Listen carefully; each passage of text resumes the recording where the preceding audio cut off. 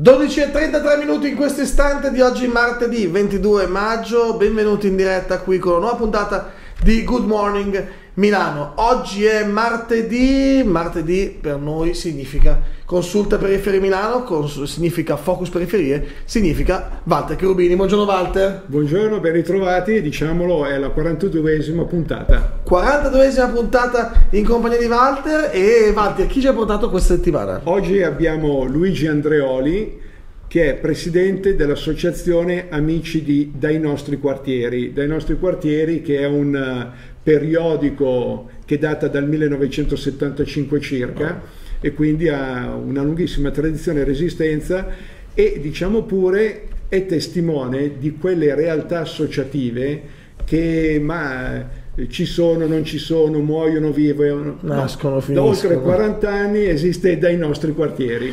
Allora diamo il benvenuto appunto a Luigi Androni, buongiorno, buongiorno. benvenuto, grazie mille grazie. di essere qui con noi oggi. Eh, associazione dai nostri quartieri. Eh, insomma, già il nome è interessante perché appunto fa, capire, fa proprio sentire questa voce, mi sembra di sentire una voce appunto che arriva, no?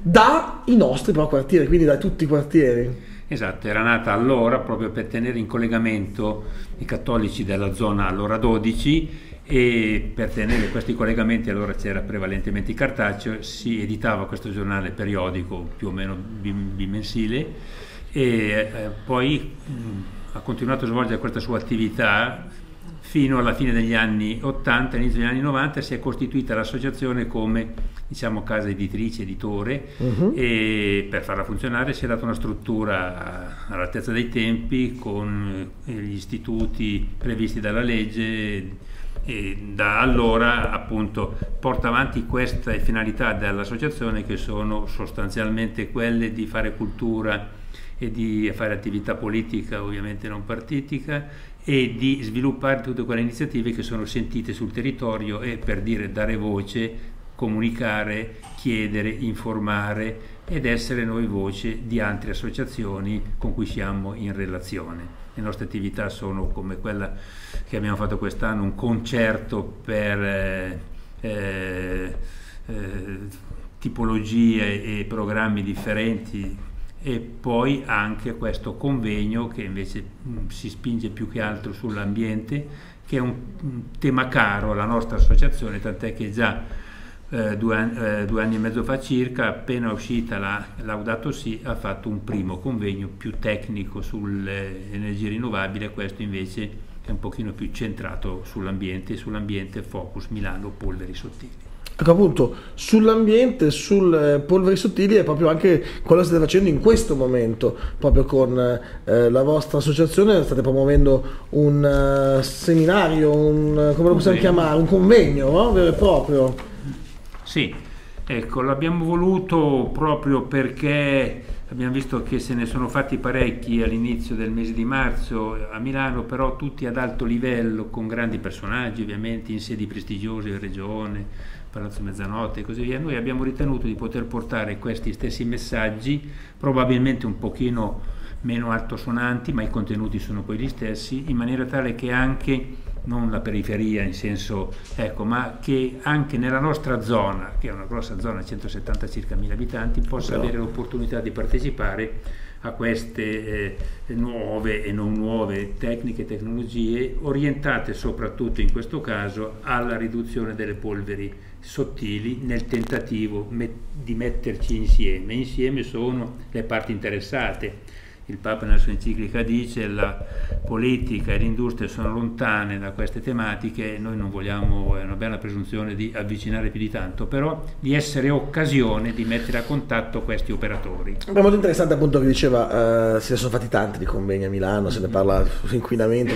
se ne parla da sempre, se ne parla sempre però nelle, uh, nelle grandi alte sfere e, si fa fatica magari a scendere eh, per strada a parlare con i cittadini nei vari quartieri.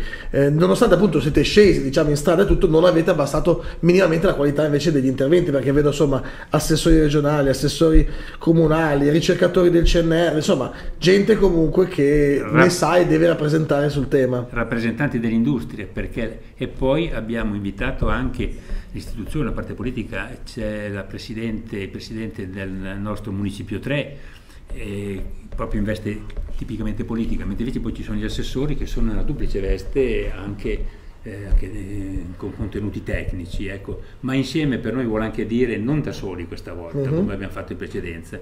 Abbiamo anche l'associazione, eh, la Consulta eh, Periferia Milano e abbiamo l'associazione Aldai Feder Manager che ha al suo interno delle commissioni, dei comitati che studiano specificatamente questi, questi, questi aspetti, li dibattiamo frequentemente, per cui anche il fare insieme come soggetti di comunicazione, ma fare insieme anche come soggetti operatori, perché da questo noi riteniamo possa esserci una migliore intesa nel scegliere valori comuni, interessi comuni e non solo quelli specifici di ciascun settore o ambito produttivo o amministrativo.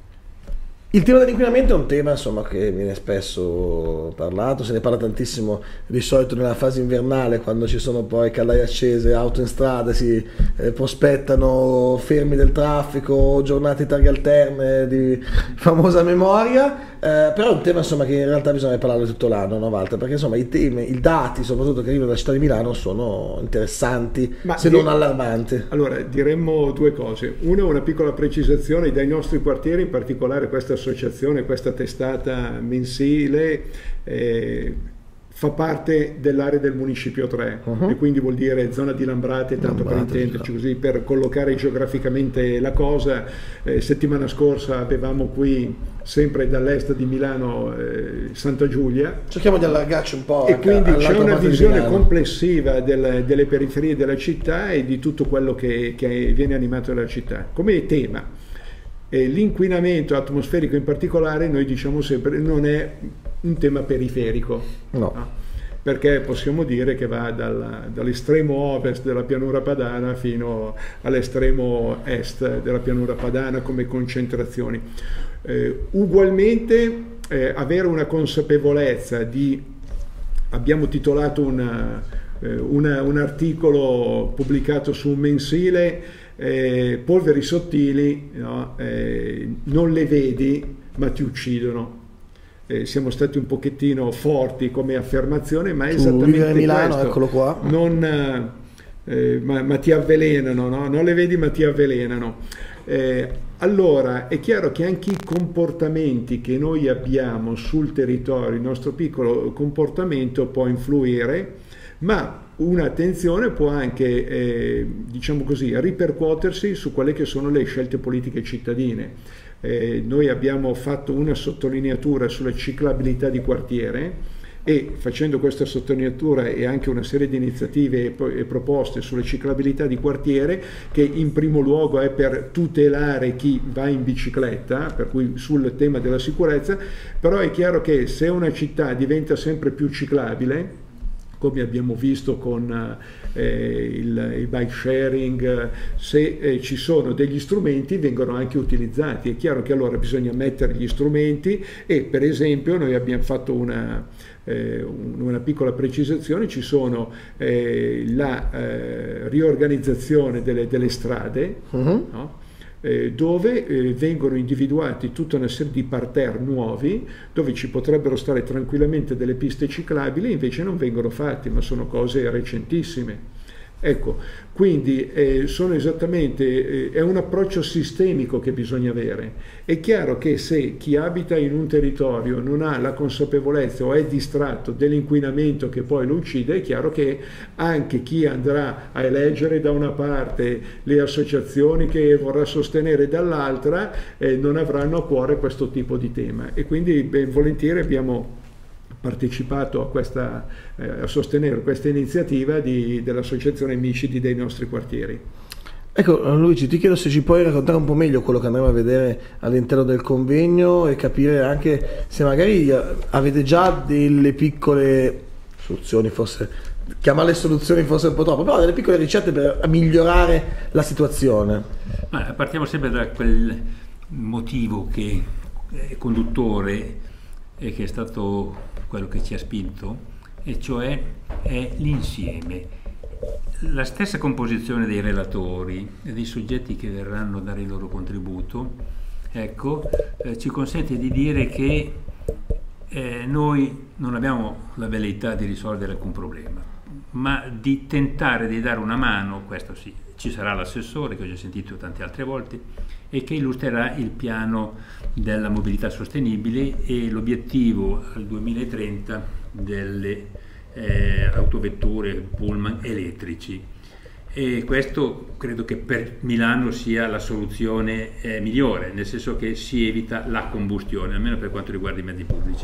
Noi vogliamo che con questo concetto di insieme il comune ci dia la possibilità di aiutare anche i cittadini a dare il loro contributo con il mezzo che sarà senz'altro anche nei decenni futuri sempre più elettrico, ma nell'immediato non si può pensare, sperare di fare tabula, la, tabula rasa di tutti i motori a combustione. Ecco, allora noi pensiamo a quello che dà per ora minor apporto, direi che per quanto riguarda le polveri sottili, il carburante metano sia totalmente assente, per mm. cui questo è già un primo passo. Metano meglio van... ancora del GPL quindi, eh, dal punto il, di vista delle... Meglio... Oh. Per quanto riguarda le emissioni, le, le emissioni di, polveri sottili. Di, di, polveri sottili, siamo lì. Okay. Ecco, forse siamo lì, non, non c'è una differenza okay, okay. sensibile sostanziale. Ecco, eh, allora noi però abbiamo bisogno di attrezzare, scusate, di attrezzare anche il territorio eh sì. affinché il contributo venga anche dai le automobili normali, voglio dire, per cui si dice che bisognerà prima o poi arrivare alla decisione di eliminare il diesel, che è quello più inquinante, non solo per le polveri sottili. Ecco, la nostra proposta è appunto questa qua, che il comune ci aiuti a favorire noi associazioni o altri operatori, a dare la possibilità anche ai cittadini di avere un carburante meno inquinante, uh-huh. almeno per quanto riguarda i polveri. Nella nostra zona c'era un bel distributore, è stato chiuso vent'anni fa, non è più stato sostituito, ne proponiamo uno lì nelle vicinanze. Io ho esperienza di queste cose come azienda in passato, so che cosa vuol dire costruirlo, so cosa vuol dire avviarlo, so quanti sono i tempi che necessitano se ci sono i, i budget. Quindi è possibile farlo. È, è, possibile. E il metano in fin dei conti ha tre grossi vantaggi. Non, non inquina come polveri, è sicuro perché è sicuro. Ah, ecco, diciamolo perché questa è una delle cose che uno dice mette una bomba, una bomba perché l'idea è quella di mettersi, no, mi immagino, la gente pensa di mettersi la bomba del, del, del gas di casa in macchina, non è così appunto, no, cioè, e una pompa di benzina o una pompa di metano, se non so se si chiama pompa di metano sinceramente, sì, sì, forse è più sicuro ormai la pompa di metano rispetto a quella di benzina ormai con tutti sì, i controlli siamo, siamo che lì. si fanno. Posso dire che una bombola a bordo della macchina a metano è impenetrabile, non può scoppiare non, assolutamente, non c'è eh, letteratura, in letteratura alcun caso di scoppio di bombola, ecco. okay. può esserci qualche disguido come per tutti gli impianti che hanno eh, eh, combustione, ma, ma, non mai per quanto riguarda l'impianto a metano. Ecco. E questo obiettivo noi pensiamo che si possa raggiungere con eh, poi dimenticavo, scusate, il terzo vantaggio è che è economico, costa ah, meno della metà del carburante liquido. Ecco, tornando invece alla possibilità di favorire questo sviluppo, un'occasione è quella di, se si riesce nel breve periodo, di eh, avere la realizzazione di un impianto anche per gli autobus. Mm. E non è per far concorrenza, ho già detto che sono favorevole al mezzo elettrico, Ecco, solo che da qui al 30 ci può essere lo spazio perché nel fare le cose in comune, insieme, a favore anche della mobilità pubblica, si riesce ad avviare un processo virtuoso che favorisca anche lo sviluppo del mezzo privato a metano.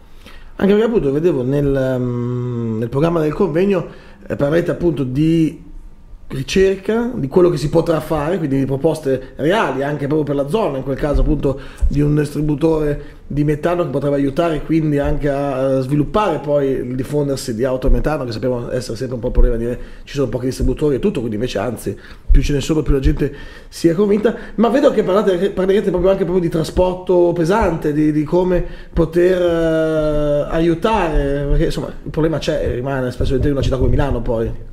Ma nei grandi eventi di inizio mese di marzo c'erano anche grandi produttori europei di mezzi pesanti. Mm. Oramai il mezzo, il motore, il trattore a metano non ha nessuna deficienza rispetto ad altri, la potenza ormai è la stessa e ci sono programmi. Mi immagino fare un pieno di metano, un pieno di gasolio, un tiro e la differenza la sente poi il, eh, economicamente parlando. Sì, poi economicamente sì, ma io vedo anche eh, autobus, eh, cioè camion che vengono a rifornirsi di metano, sono addirittura camion diesel che con una tecnica particolare di una semplice centralina possono funzionare anche a metano al 75%. Con i 75. E ne ho visto uno settimana scorsa a Milano, un camioncino di quelli delle imprese che addirittura si vantava di essere bifuel e andava a gasolio e a GPL, questa è una novità per me. Comunque, eh, per quanto eh, riguarda allora lo sviluppo di questo settore, eh, noi facciamo leva sul tempi brevi du- due anni al massimo, ah. anche meno per costruirlo, dieci anni per poi raggiungere quell'obiettivo che è del comune, voglio dire, elettrico. Insisto su questo, noi non vogliamo pensare e sostenere altre tesi, vogliamo favorire lo sviluppo dell'uso del metano privato, per cui quella ipotesi, e anche per distributore che io ho fatto eseguire alla mia azienda e che funziona a regime, ecco, era stato fatto proprio anche per il, il trasporto dei pullman. Ecco. Per cui invochiamo questo, ecco, questa attenzione. Ma il comune si è già manifestato sensibile negli anni passati per la costruzione di un impianto di questo tipo. Purtroppo la location non era adeguata e, e non c'era poi questo vantaggio invece di questa soluzione che è già stata verificata con un pre-studio, uno studio di fattibilità, che sarebbe in grado di garantire su percorsi stradali ad alta intensità di traffico in una zona qua, quasi, quasi, centrale a, a, a, Milano di avere questa grossa opportunità. Faremo vedere nelle slide che, che, che, che verranno proiettate che addirittura questo distributore costruito 15-20 anni fa è a 20 metri 30 dalle case, non dà fastidio. Nella zona che così si ipotizza le case sono anche molto più lontane, c'è spazio verde, ma soprattutto ci sono grandi assi viari, Viale Palmanolla, Via Padova, Viale Monza, in, quel, in quella zona dove esisteva in Via Stamira d'Ancona fino a vent'anni fa questo distributore. Ecco, guarda, insomma, le soluzioni, come sempre, eh, le soluzioni ci sono, si troviamo sempre, noi, noi abbiamo forse la fortuna avata di trovare solo noi queste persone che vengono qua, ci danno delle soluzioni, delle prospettive delle, e questa fortuna non ce l'hanno eh, nei grandi, ai piani alti del, di chi deve decidere forse, mi viene da dire. Siamo fortunati noi Walter? È questa? È solo Ma, qui? Io dico che è fortunata Milano, okay. perché a Milano come al solito, lo diciamo più volte, c'è tutto. Il problema è che non si riesce a fare il sistema. Eh, essere a conoscenza.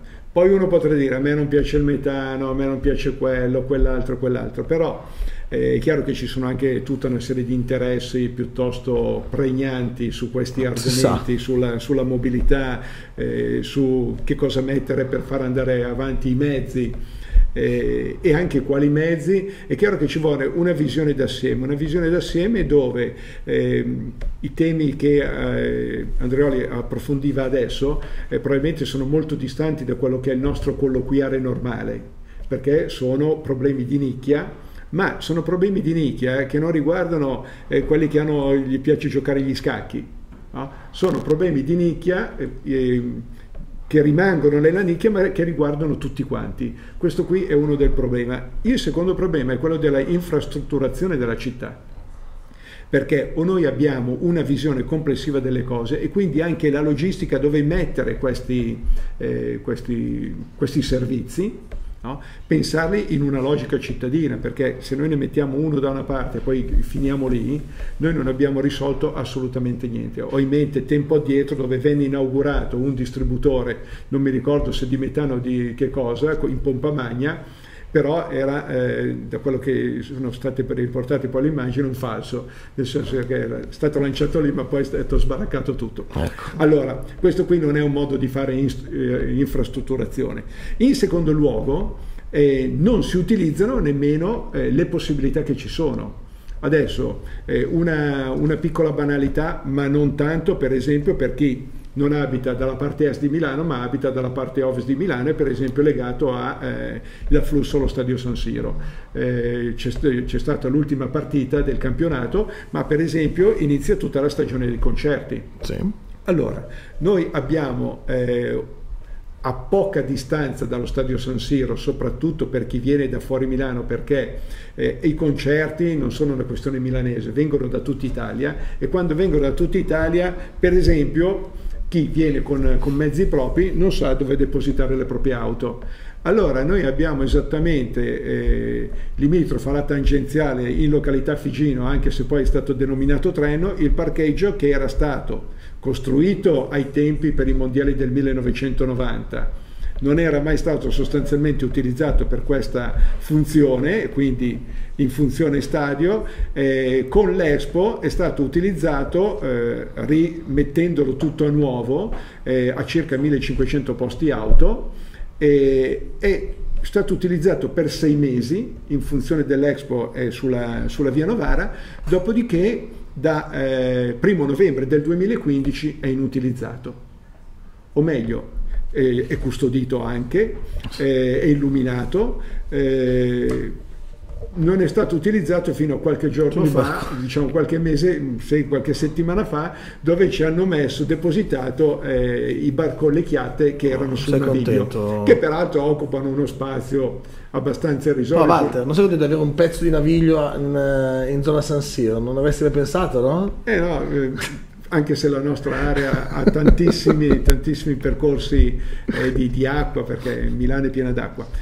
Allora, questo qui è il tema, cioè noi da una parte non ragioniamo in termini molto spesso di infrastrutturazione, ma lo dicono quelli che sono del mestiere, che purtroppo ci sono tutta una che, serie di scelte che, si scombi, che si scombinano e non si combinano quindi. In secondo luogo abbiamo già degli strumenti che non utilizziamo questo è il tema. Certo, utilizzare fa anche fatica per certi aspetti, vuol dire che uno comincia a dire che io devo pensare lì a far portare i flussi de- delle auto che tutto sommato ci sono. Eh, ecco, questo è il tema. Utilizziamo quelle che sono le disponibilità attuali. L'ipotesi che faceva adesso in questo convegno che verrà un pochettino lanciata è bene, dobbiamo arrivare al 2030, ma intanto che aspettiamo il 2030 possono essere fatte tutta una serie di cose utili ne parliamo e vediamo che cosa viene, viene, fuori, ma ecco, l'importante è che anche venga socializzata questo tipo di, di, informazione, perché altrimenti è un problema dell'inverno e poi aspetti, ci aggiorniamo al prossimo inverno. Allora, siamo quasi in eh, chiusura. Io Luigi ti chiederei se ci puoi dare le coordinate per il convegno, come fare ad arrivare, quando, tutti gli orari, quello che c'è da sapere, come si può fare avere tutte le informazioni anche eh, pre, su appunto dei nostri quartieri. Ma la sede è via Valvassori Peroni ed è l'auditorium.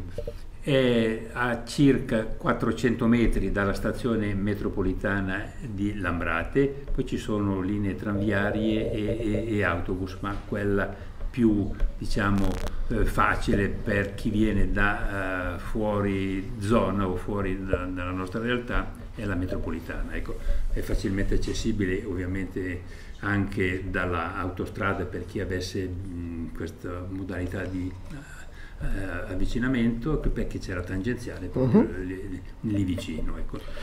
Che ora inizia il tutto? Il 24 alle, maggio? Alle 9 abbiamo una lunga serie di interventi e gradiremmo che eh, si potessero esaurire eh, tutti gli argomenti, anche perché la composizione degli, uditori, degli oratori è molto varia, ad esempio ci tengo a, far presente adesso che ci sono ben due istituti tecnici della nostra zona che hanno fatto delle ricerche e gli studenti verranno a relazionare sull'esito delle loro ricerche, per cui pensiamo ai giovani dicendo guardate che state lavorando per voi e per il vostro futuro. Ecco.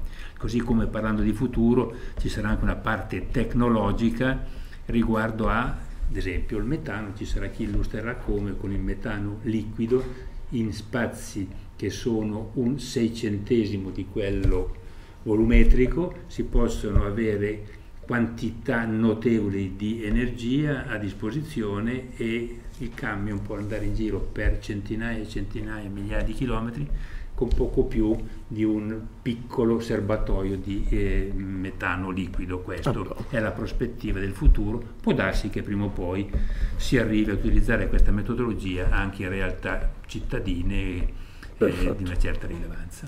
Quindi per riassumere, Prego, eh, la- la- la- la- giovedì 24 maggio eh, 2018 alle ore Nove. 9 eh, l'auditorium di via Valvassori Peroni al numero 56 che è dove c'è anche la biblioteca Valvassori Peroni, quindi è, è attaccato bibli- alla biblioteca. Questo come data. Per quanto riguarda poi qualche diciamo così, prospettiva futura, eh, anzi qualche calenda- appuntamento Sì. futuro, eh, sottolineiamo alcuni eh, aspetti musicali Mhm. e quindi venerdì, sabato e domenica eh, ci saranno eh, una, una serie di concerti eh, in alcune chiese di Milano in particolare. E potete trovare i riferimenti comunque complessivi sia delle rassegne, concerti in periferia, sia per nutrire l'anima e anche Cori Milano sul sito periferiemilano.com. E ecco, vogliamo nel- nell'occasione anche segnalare che all'interno di A Scuola di Periferie eh, ci trasferiremo, o meglio, eh, consolideremo maggiormente una presenza in quel di Niguarda Mhm. eh, con il titolo Test Niguarda. Niguarda per le periferie eh, a partire dal 31 di maggio alla sera presso il Centro Culturale della Cooperativa eh, in via Armada 14 dove ci sarà la prima tappa di un percorso proprio perché a Niguarda è stato scelto come quartiere eh, grazie a una, una sollecitazione di Confcommercio eh, per eh, fare un ragionamento più eh, specifico su un- un'ipotesi di quartiere delle periferie e quindi vedere un po' come poi esportarlo negli altri 100 quartieri della periferia milanese. Perfetto, allora Walter, direi che abbiamo detto tutto per oggi. Diciamo, Oggi. abbiamo detto tutto. Io ringrazio tantissimo Luigi Androli dell'associazione dai nostri quartieri. Grazie a voi. Grazie davvero. Ricordiamo che c'è anche comunque ancora il eh, me- mensile o come, come adesso un bim- Bim- bimestrale. bimestrale, bimestrale dai nostri quartieri che parla appunto eh, un focus sulla zona 3, ma ormai insomma, da quanto ho capito spazia a livello cittadino. Eh, insomma, lo trovate dove lo si trova? Non si trova nei centri sociali, nei luoghi di aggregazione Perfetto. pubblica, parrocchie. Quindi, se siete del, del municipio 3 lo troverete sicuramente in giro sotto casa, mi viene da dire. Io davvero grazie mille per essere stato qui con noi. e Ci vediamo il 24 maggio alle ore 9 in via Vassori Peroni per il convegno Polveri Sottili. Insieme possiamo ridurle. Grazie mille anche a te, Walter. Grazie a voi, Ci vediamo martedì prossimo. Grazie. certamente. Grazie a tutti voi che ci avete seguito. L'appuntamento, come sempre, eh, rimandato oggi pomeriggio alle ore 18 con l'informazione edizione della sera di Milano All News. E Good Morning Milano torna invece domani alle 12.30, sempre qui in diretta con voi. Grazie mille, arrivederci, a presto.